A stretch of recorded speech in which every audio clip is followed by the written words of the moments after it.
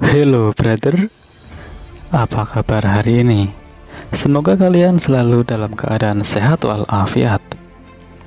Hmm, ngomong-ngomong siapa nih yang suka hal-hal mengenai astronomi? Berbicara tentang astronomi, pastinya sangat erat kaitannya dengan astronot dong. Nah, teman-teman pasti udah tahu ya, bagaimana astronot bisa sampai ke luar angkasa. Namun, apakah teman-teman tahu bagaimana astronot bisa kembali ke bumi dengan selamat? Nah, video kali ini akan membahas bagaimana astronot bisa kembali ke bumi. Kira-kira naik apa ya, geng? Kok bisa kembali ke bumi dengan selamat? Naik angkot atau pesan grab? Jawaban yang benar adalah menggunakan kapsul. Eh, bukan kapsul obat ya. Kapsul yang dimaksud adalah tempat yang sudah dirangkai khusus untuk menjemput astronot dari stasiun luar angkasa. Kapsul ini terdiri dari tiga bagian, orbital modul, descent modul, dan instrumen kompartemen.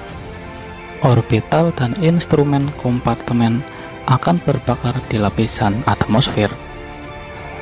Hanya deskan modul yang kembali ke bumi dengan astronot.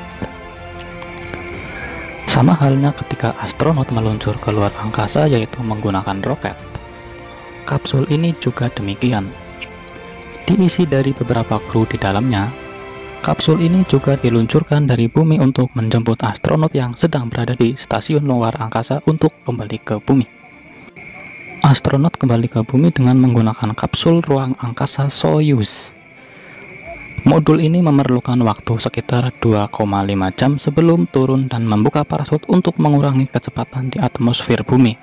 Modul akan turun dengan kecepatan 800 km per jam sampai mendekati permukaan tanah.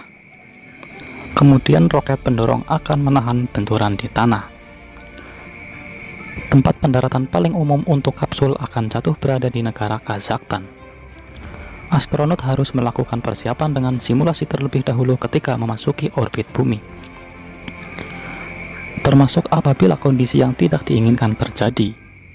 Disebut-sebut proses tersebut layaknya guncangan roller coaster yang sangat dahsyat. Lepas dari ISS, modul Soyuz membutuhkan waktu selama 3 jam untuk kembali ke bumi. ISS sebagai stasiun ruang angkasa akan merubah posisi modul mengarah sejajar ke bumi dan dilepas. Tujuannya agar tidak bertabrakan dengan label ruang angkasa tersebut. Kait Soyuz dengan stasiun ISS dilepas dengan dorongan per dan perlahan terlepas menjauh. Barulah roket kecil di Soyuz dinyalakan untuk mengarah turun perlahan.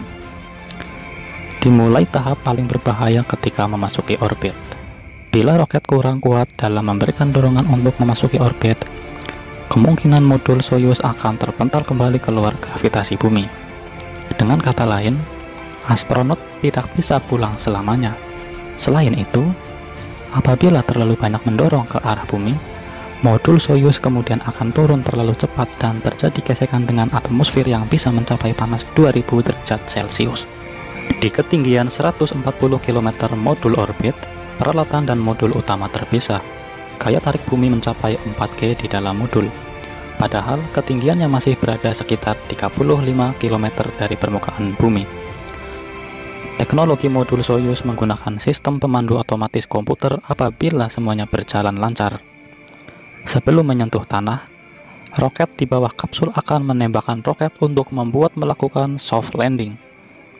Kata astronot sebenarnya bukanlah soft landing, melainkan persiapan bagi astronot untuk mendapatkan guncangan terakhir. Kata soft landing sendiri berarti sentakan dari dorongan ke atas sebelum modul menyentuh tanah.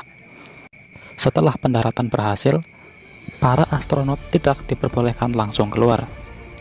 Mereka harus menunggu hingga tim medis datang menghampirinya. Dari sini teman-teman sudah paham bagaimana astronot bisa kembali ke bumi.